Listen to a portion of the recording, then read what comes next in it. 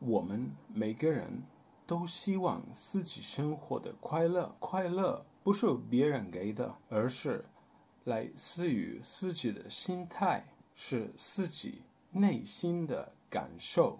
同一件事儿，不同的人有不同的心态，因而便产生不同的结果。有三句看似。